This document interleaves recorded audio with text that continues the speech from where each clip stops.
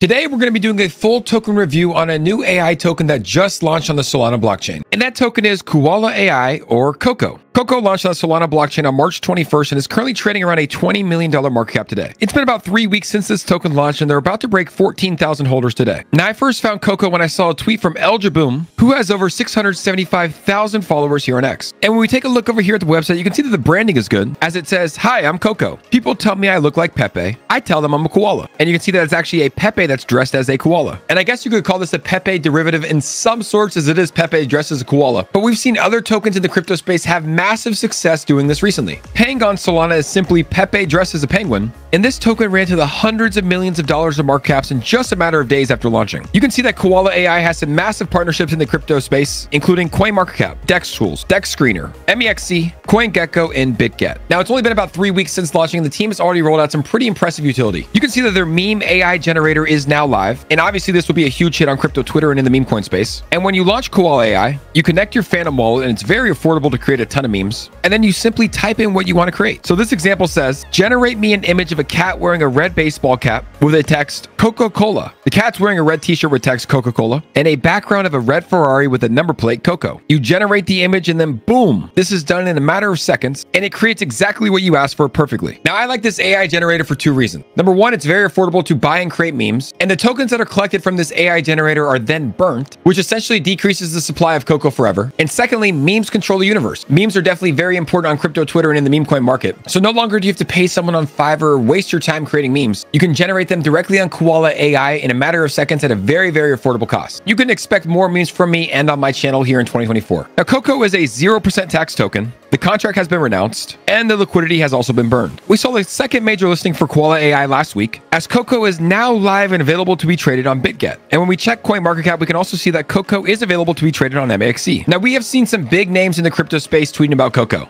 Travelon Crypto tweeted about KOKO to his 400,000 plus followers here on X. And we also saw Eric Cryptoman, who is a legend in this space, tweeting about KOKO back in March. So KOKO, aka Koala AI, is a meme coin and also an AI token that launched on the Solana blockchain. There's massive names in the crypto space talking about this project. It's already gotten listed on two of the biggest exchanges in crypto. And in only three weeks, they've also rolled out some pretty amazing utility. I like KOKO, I'm bullish on the project, and I will 100% be using the AI generator here on my channel. Let me know your thoughts on KOKO in the comments below. And if you enjoyed this video, make sure to like, follow, and subscribe for more.